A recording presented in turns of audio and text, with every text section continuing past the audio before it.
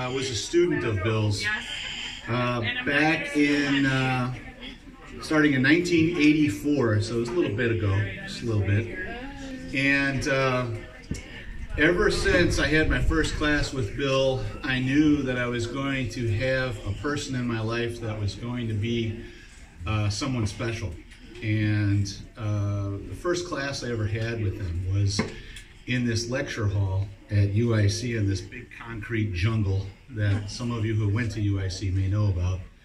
Uh, yeah, just all just concrete. I mean, there was nothing soft about this place. And we were in this lecture hall, and Bil comes up to uh, present. And at the time, he had a slide projector.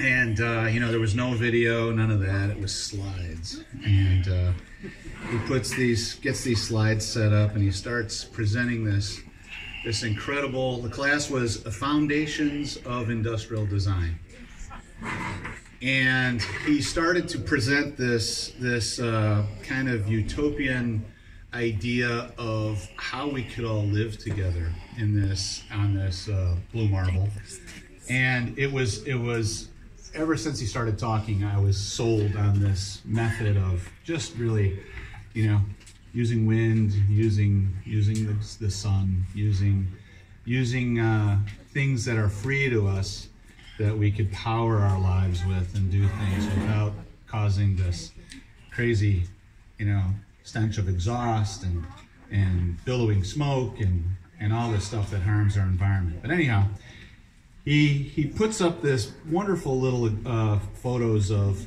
of uh, this little community, a couple of houses with a windmill up in between, and uh, proceeds to tell this absolutely incredible story on the entire ecosystem and how it would work. There would be uh, a small pond that fish would live in uh, to create uh, a sustainable fish farm that the community could eat from. Uh, waste and, and you know net, uh, basically organic waste from the homes could go into a, a little compost area that would be used to fertilize this great little a community garden that everybody could eat from. The power that everybody needed, you know, just came from this windmill. Heat, water pumping, you know, water usage, gray water. He went through it all. Black water, how it's all going to work. And it was it was absolutely amazing. And I proceeded to, whenever I had a chance to take courses and sign up for courses, I, I always uh, went to, you know, took Bil as uh, one of my professors. And uh, he was just incredible. What I loved about him the most was really how he worked with all of his students, not not just me, but but all of them. Um, he would approach another person who wanted to learn with just an incredible sense of an unassuming nature of care, and I would go far to say as love because when he would deal with people and he would work with people, he had this kind of unique mannerism about him. He would kind of come up to him and he'd be like in this rather, you know, kind of neutral, kind of uh, contemplative pose, thinking, okay, what, what am I going to do now with this next person? And he, would, and he would approach them and just be totally and fully engaged with whatever they needed, however they needed to get to the next level and what they were trying to do and what they were trying to accomplish in the study of industrial design. And he just did that all the time. Cool. And I became one of those guys that was always going to him and always working. And, and in, a, in, in kind of a neat thing here, through my time with with working with Bil and talking to Bil over the years. So it's 84 up until last year. Um, I know a little bit about each one of these projects that are up on the wall, and I'm really proud to say that because he we would talk and we would get on the phone and talk for an hour, an hour and a half. And of course, you know, there would be something about the Repubs, and there would be something about the Dems, and there would be something about somebody doing shisty. And, uh, and uh, you know, I'd say, Bil, Bil, Bil, come on. No, let's, let's stay on this, you know. Um, but we had a great time together, and um, he was an incredible man.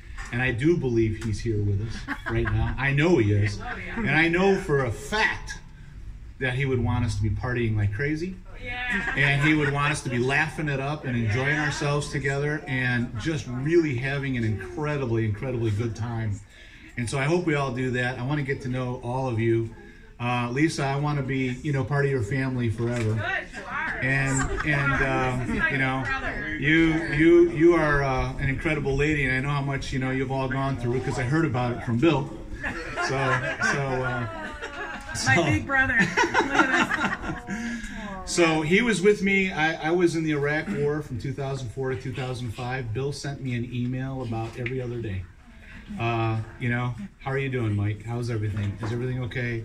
You know, are you still, you know, are you still safe? Are you? I'm concerned about you. I'm, I'm, uh, you know, just worried, and I'm hoping that you know you get home soon. And uh, I, you know, you remember people like that when you go to war, and he was one of those guys. And um, uh, Bil, I, I'm going to shut up now, and I'm just going to say, I love you, Bil. I know you're here. Um, I will love you forever. I can't wait to see you in the afterlife, and um, um, I love this family here that you've put together. Awesome job.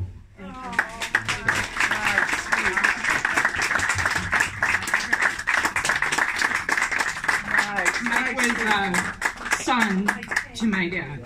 Absolutely adored Mike Saubert. Um, one of his favorite students, and um, he did. He, he just. You are dad, you know. Now you have to go out and, and do everything dad taught you. So. right. You're right. And the earth, the earth needs that. So okay. More than ever. Yeah. So please. Okay. Anybody else? Another story? Any anybody? Okay, if not, we'll have mu- more music. Thank you. Okay. All right. You want Leah? Aaliyah? Aaliyah, do you want to sing? Where's Aaliyah? She's turning the music off. Okay, Bob. Bob? Becker? Cousin Bob? Oh, come.